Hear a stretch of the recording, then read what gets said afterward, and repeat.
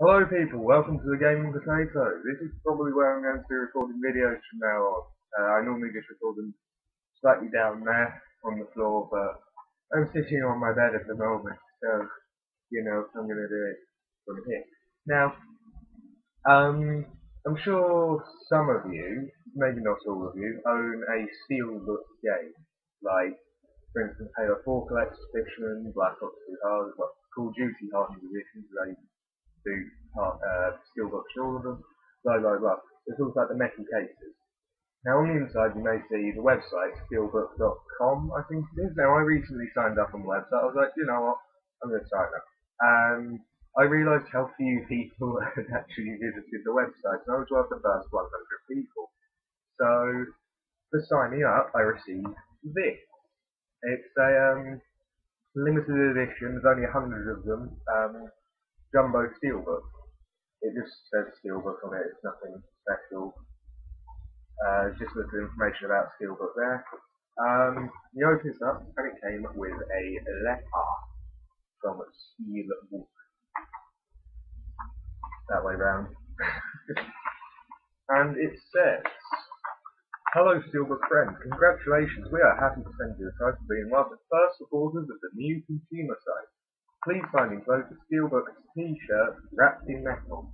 Now, of course, that's the metal. I took t-shirt out, it's being washed, I think, right now, and that's what the t-shirt has on it. That's the right way around. It's just graffiti that says steelbook. Um, that's what t-shirt has on it. So yeah, I thought that was pretty cool. I think that's the first thing I've ever won. I didn't even like enter anything. I just went to the website. Anyway, that was pretty cool. To show you that. And I also have a unboxing here for you of an Amazon package that came this morning. If it is what I think it is, I am very happy to receive it. It is what I think it is. Right, so we have, this is exactly what I ordered. A fucking love that film thing. No, I didn't do. That's my receipt thing, obviously. Anything else to show you? Right, it's a DVD. So, one of my favourite horror films of all time. It is The Blair Witch Project. Um, I watched this like a year or two ago. Um, it was on the TV. I watched it, or maybe it was around friend's house. I can't quite remember. Um, but I watched it, and I wasn't actually expecting.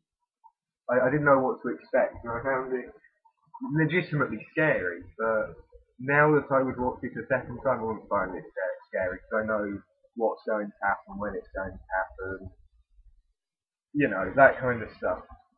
Yeah, this was made in 1999, I do believe it was. Um,